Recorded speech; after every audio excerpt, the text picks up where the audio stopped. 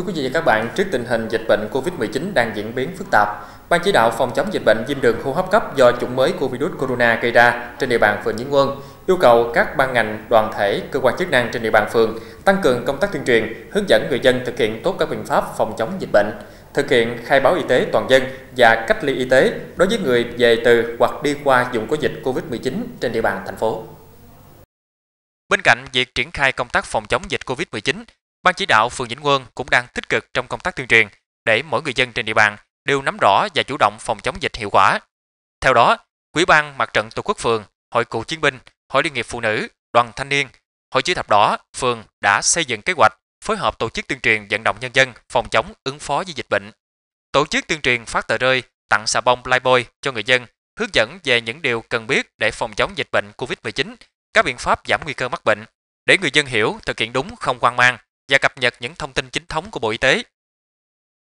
Để ờ, đề phòng bệnh ờ, virus ờ, corona thì gia đình tôi cũng đều có ý thức rửa tay bằng xà phòng, khi ra đường đeo khẩu trang và thường xuyên là lau nhà thường xuyên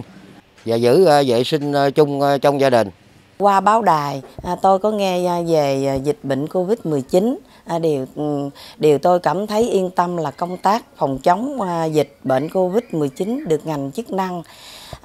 trung ương đến địa phương trong cả nước thực hiện có hiệu quả. Rồi bản thân tôi cũng thường xuyên rửa tay và vệ sinh sạch sẽ những khi ra đường. Tôi phải nhớ mang khẩu trang và tránh nơi tụ tập những nơi đông đúc người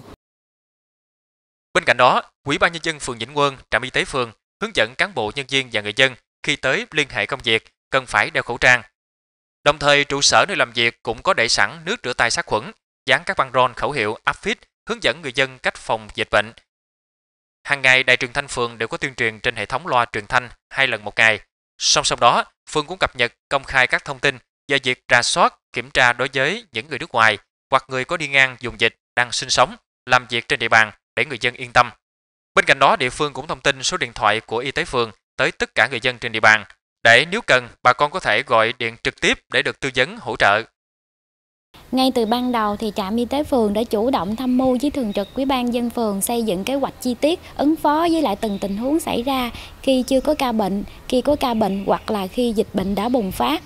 đối với tuyến cơ sở thì cái điều quan trọng nhất là chúng ta phải thực hiện tốt cái công tác truyền thông tính tới thời điểm hiện tại thì trạm y tế phường đã phát hơn 2.000 tờ rơi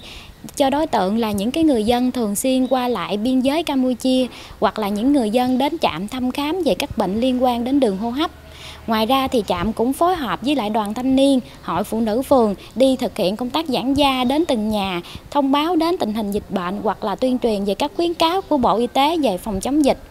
Thứ hai nữa thì trạm cũng đã phối hợp chặt với ban khóm và lực lượng công an phường nắm tình hình và giám sát dịch tễ các trường hợp qua lại biên giới Campuchia nhằm phát hiện sớm các trường hợp nghi ngờ có những cái biện pháp kịp thời thì à, nhân đây thì tôi cũng xin gửi đến các thông điệp đến bạn bạn xem đài. Chúng ta cần phải thực hiện nghiêm các khuyến cáo của bộ y tế à, không thường quan trọng nhất là phải thường xuyên rửa tay tránh ra nơi tránh tiếp xúc tụ tập nơi đông người nếu không có việc gì cần thiết. Và quan trọng nhất là không có tung những cái tin đồn thất thiệt lan truyền những cái tin đồn mà nó chưa được kiểm chứng. Bình tĩnh chung tay và tuân thủ theo các khuyến cáo của ngành thì chúng ta sẽ đẩy lùi được dịch bệnh. Phòng bệnh hơn chữa bệnh là phương châm quan trọng cần thiết đối với tình hình hiện nay. Mỗi người phải chủ động tự bảo vệ bản thân, gia đình và cộng đồng.